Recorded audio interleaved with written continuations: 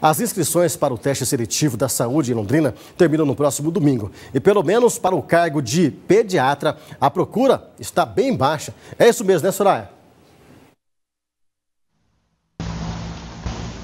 Exatamente, Cid. Para você ter uma ideia, serão oferecidas oito vagas e até agora só foram apenas duas inscrições. O teste seletivo da saúde registrou até agora 4.235 inscritos. A abertura da inscrição para o teste seletivo foi na semana passada, dia 24, e foram ofertadas 157 vagas.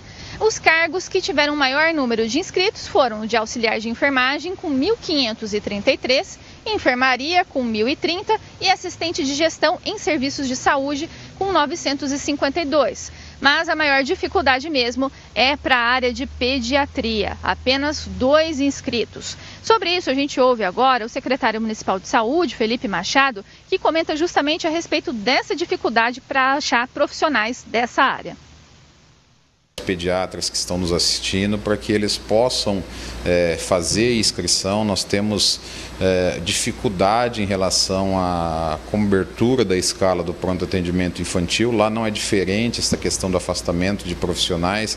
Em determinados momentos chegamos a ter seis pediatras afastados. Isso gera um grande transtorno porque não conseguimos repor mesmo com hora extra, com a ajuda de vários profissionais, então o teste seletivo ele vinha justamente para tentar suprir essa lacuna. E nesta primeira análise dos dados dos inscritos, nos surpreendeu de forma negativa a baixa procura pelo é, cargo de médico pediatra plantonista.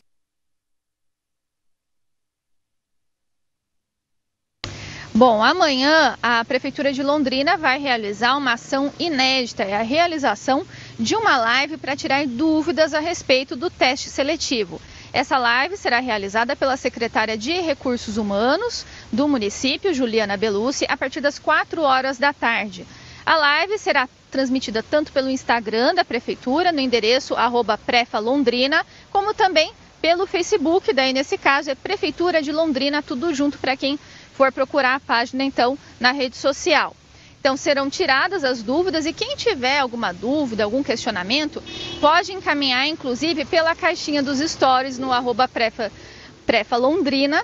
Né? A pessoa encaminha por lá, nos stories já foi disponibilizada essa caixinha de perguntas, então a pessoa envia a dúvida para lá e amanhã ela pode ter essa dúvida então solucionada durante a live. Cid.